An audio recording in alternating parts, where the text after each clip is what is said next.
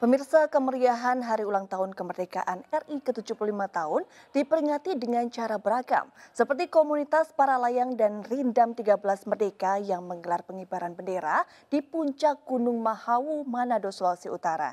Sayangnya kegiatan tersebut diwarnai insiden seorang pilot para layang yang tersangkut kapal sutet. Beruntung korban bisa diselamatkan.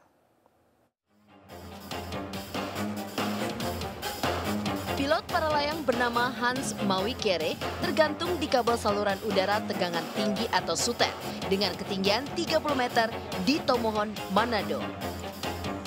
Tim penyelamat dari TNI dan PLN yang tiba di lokasi langsung menyelamatkan korban dengan menaiki tower sutet.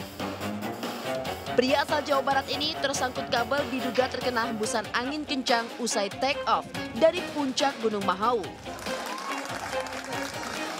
Setelah tiga jam tergantung, pilot para layang tersebut berhasil dievakuasi dan dibawa ke dalam mobil ambulans untuk pengecekan medis.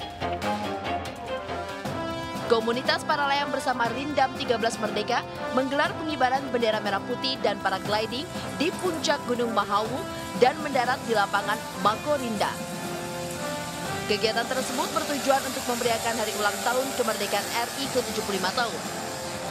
Dari Manado, Sulawesi Utara, Jeffrey Langi, iNews melaporkan.